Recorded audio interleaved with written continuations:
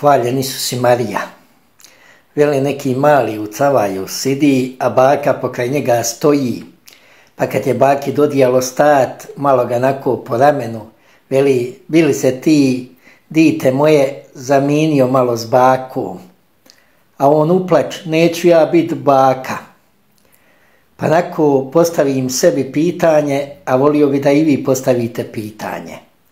Ima li itko na ovom svijetu s kojim bi se ja promijenio za mjesto?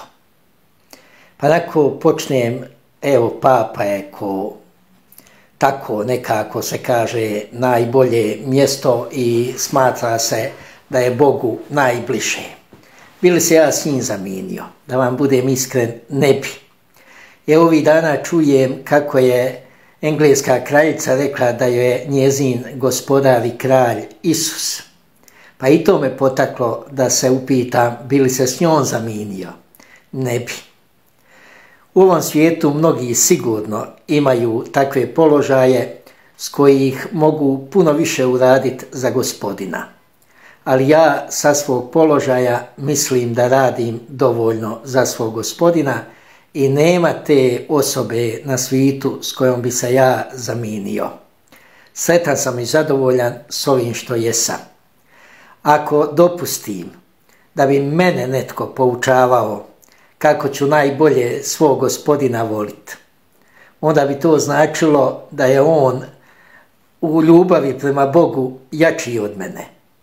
Ako bi dopustio njemu da on mene uči kako ću svom gospodinu najbolje služiti, to bi značilo da ja ništa ne radim za svog gospodina i da nisam svjestan je li za njega služim ili mu ne služim. Ali ja sam dovoljno svjestan i vjerujte mi, nema te osobe na svijetu s kojom bi se ja zaminio za svoj položaj. I još nešto, ako želiš da si ti sretan na svome križu životnome i u svom životu, onda je jedini način da budeš doista ne samo onaj koji jezikom hvali i slavi gospodina, nego koji ga srcem ljubi iznad svega i dušom uzalj prijanja.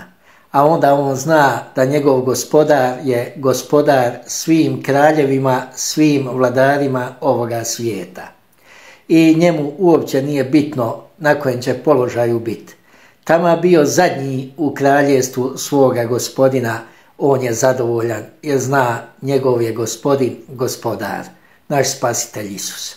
Pa eto vi, ako baš želite se zamini, zamisto vi se minjajte s kim god hoćete, ali ne očekujte od mene. Meni je 55 godina, kad sam uspio do sada opstajat u čvrstoći prema ljubavi i odanosti svome Bogu, valjda ću i osada uz njegovu pomoć. I vama želim gospodnju pomoć, nek vas blagoslovi i čuva, Otac, Sin, idu sveti, Amen. Slava našem Bogu svesilnom u vjekove. Slava mu!